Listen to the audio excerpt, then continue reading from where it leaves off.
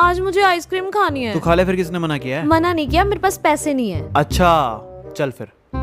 भैया एक काम करो इसको जो कैरी है ना वो दे दो। भैया एक